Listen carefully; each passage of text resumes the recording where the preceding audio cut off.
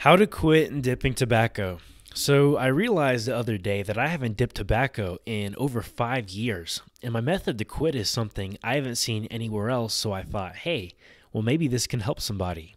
So, I'm going to kind of fill you in on my experience first before we get started, just so you can know where I'm coming from. Okay, so I started dipping, you know, when I was 16, and initially I was dipping Skoal Peach and throwing in a few dips here and there, and a few dips became, you know, three, four dips a day. Uh, three, four dips a day became, you know, so on and so forth. And I eventually graduated to chewing a can and a half a day of either Skoal Straight Long Cut or Copenhagen Straight Long Cut. And uh, yeah, so I was going through about a log, log and a half a week and when I first started dipping, you know, it's the best thing in the world. You know, you throw in a chaw when you're in your car and, you know, it makes you feel, you know, euphoric and relaxed and it tastes good. And, you know, it's like the best thing in the world. And then after you dip for so many years, you realize that it actually isn't. You know, you're actually dependent on it now. You know, it makes you feel tired, it makes you feel controlled. You know, you don't really get that same uh, sense of enjoyment from dipping anymore. It's more about just managing your symptoms of not dipping. And uh, on top of that, your mouth gets really messed up, and then your health just takes a dive. And then, you know, you realize it's time to quit. And, you know, I tried to quit. I tried a bunch of different things. I tried to use fake chew, uh, like that Jake's mint leaf. And, you know, that shit just made it even worse. You know, it's like, you're throwing in something. It doesn't taste like dip. It, it feels like a dip, uh, but it doesn't give you the effects. It doesn't taste like dip. You know, it's just kind of more irritating than anything. You know, maybe it could help some people. I'm not trying to uh, shed light on something that's supposed to be good. But, anyways, my point is, I thought I might never quit. So, my trick is one day, whenever you're ready to quit dipping, uh, on your last can, uh, have your last can. So, like, you know, I have a can, and what I did is I threw in my last dip of the can. It finished off my last can. And after that, I was like, I am never going to dip ever again. And once you make that decision, just stick with it. But here's the real trick. So, the real trick is to pretend that you're sick with some awful version of the flu or something like that. So, that's the trick because you know you're addicted to the nicotine. You're not addicted to the tobacco. And i think that's the point that everybody misses is they think it's you know trying to quit dip. And if you don't think of it like that if you think of it more as you know you're sick because that's what you are. You're actually sick when you quit. It's called nicotine withdrawal. You're addicted to the nicotine not the tobacco so, what you can use is a type of medicine called a nicotine gum, and that will kind of taper the effects of uh, nicotine withdrawal. And it really makes all the difference. It really does. So, one day you decide you're going to quit, have your last dip, throw away all dip paraphernalia, and then you're going to have some really, really nasty symptoms. I mean, worse than you could possibly imagine. And all you got to do is wake up every day and tell yourself, I have some awful version of the flu. And then on top of that, use nicotine gum. Use the highest dosage you possibly can. You know, that says it on the box without getting sick or something like that. Uh, follow that. Use the, the four milligram instead of the two. And that will really make all the difference. So I'm going to go ahead and um, bring a website up and I'm going to show you kind of what the common approach to this is and why I think it doesn't really work that well. So, uh, we're at Michigan, you know, Cancer Center, and you know this website does mean well, which is good. But let's kind of talk about some things here. So, quitting smokeless tobacco is a lot like quitting smoking, and you know that's not true at all because there's a like 10 times more nicotine in dip than there is smoking and people that dip a lot throw in massive chaws. I'm talking like a fourth of the can and stuff like that, which is like a whole pack of cigarettes or two of nicotine. So, also when you dip, you dip in your car, you dip at home, you dip uh, at school, at work, everywhere. When you dip, you dip everywhere. So, it's really nothing like smoking at all. And then it has some other advice on here, which is I think is just really silly. You know, it just adds more irons in the fire. It makes more stress, makes it harder for people to quit. And uh, like look look at this right here.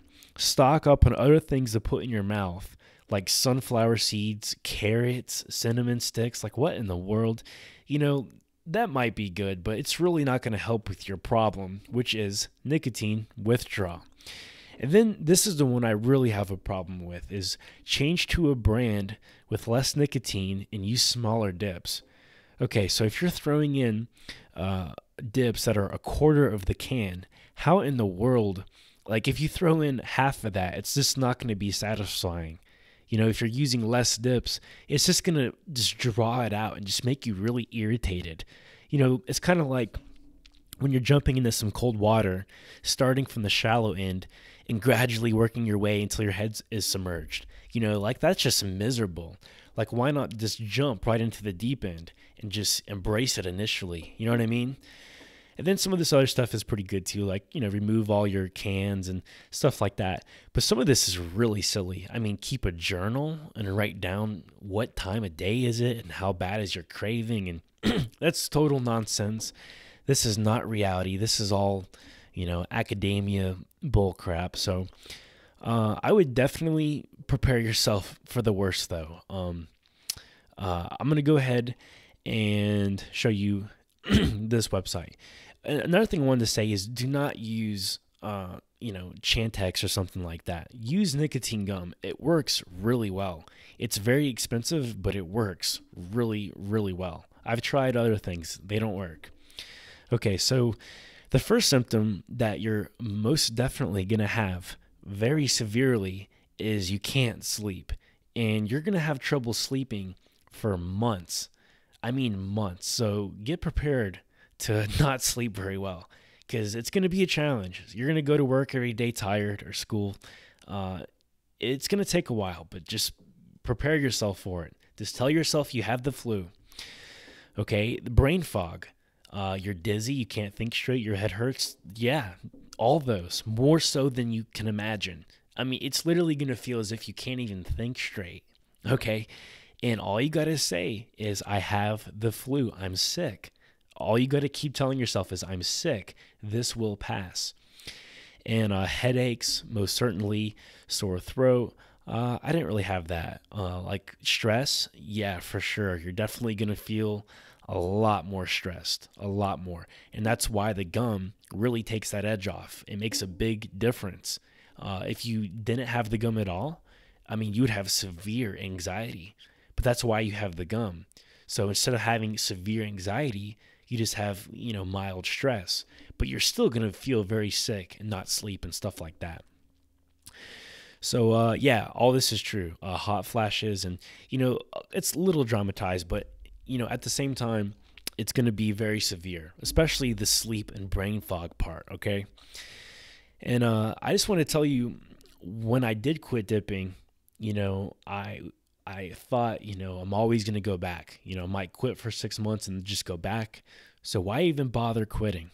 And I'll tell you, when you've been dipping for a few years and you're dipping a can and a half a day or whatever, when you finally do quit, your life will be better. You will have more energy. You will sleep better. You will feel more alert. You know, you, just everything. Everything in your life is improved. You're not controlled. You feel more relaxed and calm naturally. So, when your life improves that drastically, you're never going to want to go back to dipping. I mean, when I quit, uh, I was miserable for months. I mean, I was having dreams of throwing in dips for months.